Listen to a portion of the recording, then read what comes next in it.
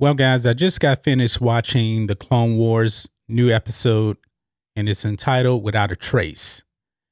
And this was truly the first Disney Star Wars Clone Wars episode because the Bad Batch arc that was from the George Lucas era.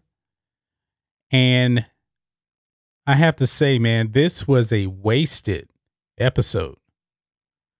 Now we get to see the return of Ahsoka in this episode. Finally, we get to see kind of what she's going through, which technically we really still don't know what she was going through. She's on a speeder. Her speeder malfunctions. She crashes into this repair shop or whatever, and she meets this this girl named Trace and her sister Rafa. They own this repair shop, and they owe money to this guy, and he kind of roughs up Trace and Ahsoka helps her. Another guy comes in with some droids that are kind of bad. And that's really about it. There was nothing to this episode. There was nothing to this episode. I mean, it's called the Clone Wars, and I know that you want to kind of set the tone for what Ahsoka has been doing, but man, you could have came up with something a little bit better than this. We still don't really know where Ahsoka was coming from. And Trace and Rafa, new characters. I don't care about them. I don't. It has nothing to do with them being women, nothing to do with it. It's just that there is no good story. The story is bad.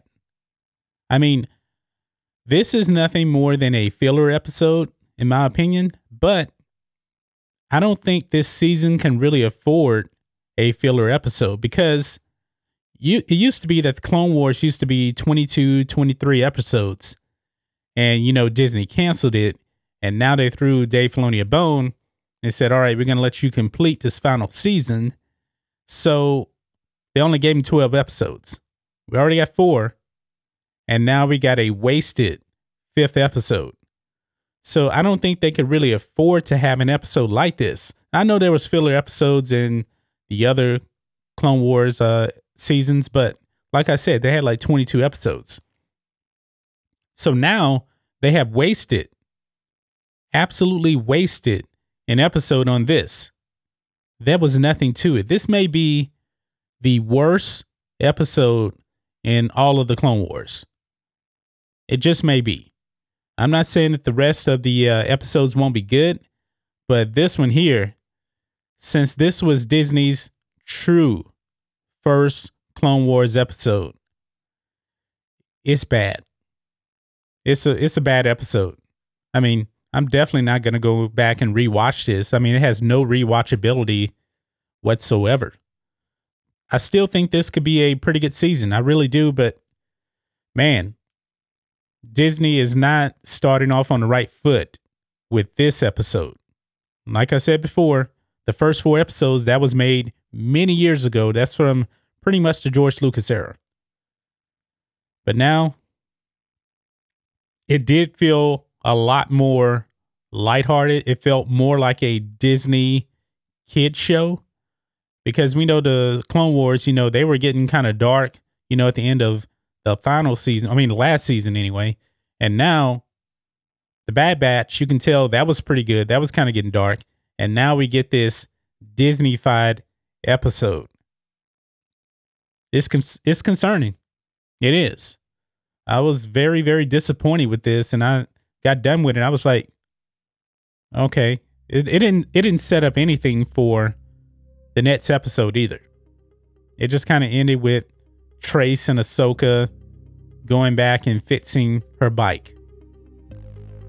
It set up nothing for the next episode. We don't know where they're really going. Are we going back to uh, Anakin and Obi Wan and the Clone Wars? Because really, this had nothing to do with the Clone Wars at all.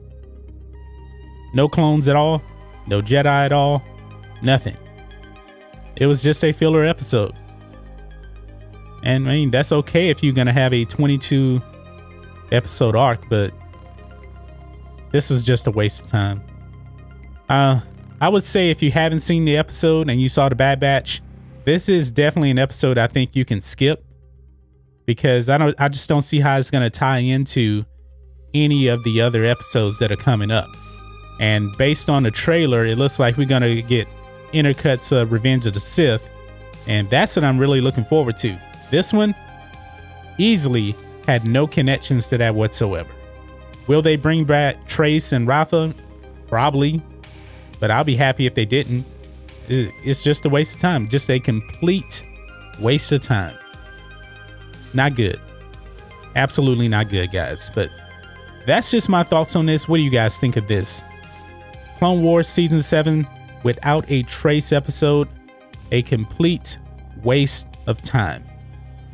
I mean, this may have been Star Wars Resistance kind of level, but I only saw one episode of Resistance because it was awful. I hope Clone Wars gets better. It needs to get better because Star Wars is in a bad place. And this was the saving grace of Star Wars. Let me know what you guys think about all this in the comments. If you're new here to the channel, please hit subscribe to catch future videos from me, and we will catch you on the next video. John Matrixx, out.